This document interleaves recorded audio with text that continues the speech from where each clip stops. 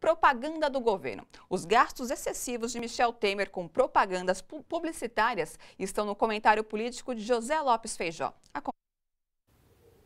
O governo Michel Temer está gastando verdadeiras fortunas em dinheiro público para fazer publicidade nos principais meios de comunicação monopolizada, controlada por cinco famílias do Brasil, no sentido de tentar convencer o povo brasileiro que as suas ações e as suas políticas são benéficas para o Brasil. Por exemplo, neste final de semana que passou, ele comprou a capa de três conhecidas revistas para tentar convencer o povo brasileiro que a reforma da Previdência é boa e necessária a reforma da Previdência que é absolutamente rejeitada pela maioria esmagadora da população brasileira.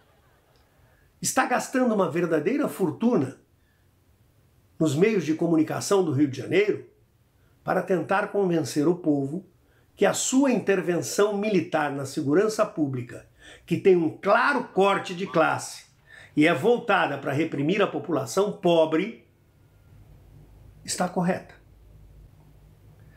O problema é que, por mais que gaste dinheiro nos meios de comunicação, quem sabe até para tentar comprar a boa vontade desses meios, coisa que ele não precisava fazer, porque afinal de contas, esses meios de comunicação e os seus proprietários apoiaram o golpe de 2016. Esses meios de comunicação e seus proprietários apoiam a agenda de retrocessos do governo de Michel Temer são favoráveis a coisas como a reforma trabalhista, a reforma previdenciária, a invasão militar das favelas do Rio de Janeiro.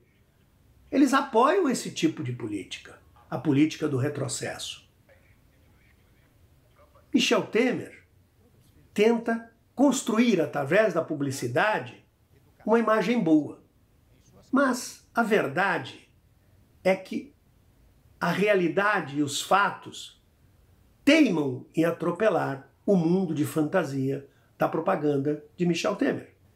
Pesquisa recente mostra que na cidade de São Paulo existem hoje 1 milhão e 800 mil trabalhadores desempregados, 18% de taxa de desemprego.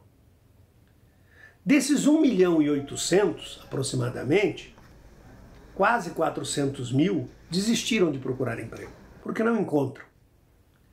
Do 1 milhão e 400 mil que ainda continua tentando, 44% estão desempregados há um ano. 19% estão desempregados entre um e dois anos. E 29% há mais de dois anos. Buscam emprego, não encontram, mesmo aceitando receber salários menores do que recebiam, mesmo aceitando se submeter às regras da reforma trabalhista que destruiu as relações capital-trabalho e os direitos da classe trabalhadora. A muitos não resta outra alternativa a não ser o trabalho informal ou a economia informal. Esta é a realidade dos fatos. Por mais que a mídia tente vender em apoio ao governo golpista de que a situação brasileira melhorou, que a inflação está controlada, que saímos da recessão, os fatos, a realidade atropela a tentativa de iludir o povo brasileiro que eles vêm tentando fazer, seja via publicidade ou seja pela boa vontade daqueles que apoiam as políticas golpistas.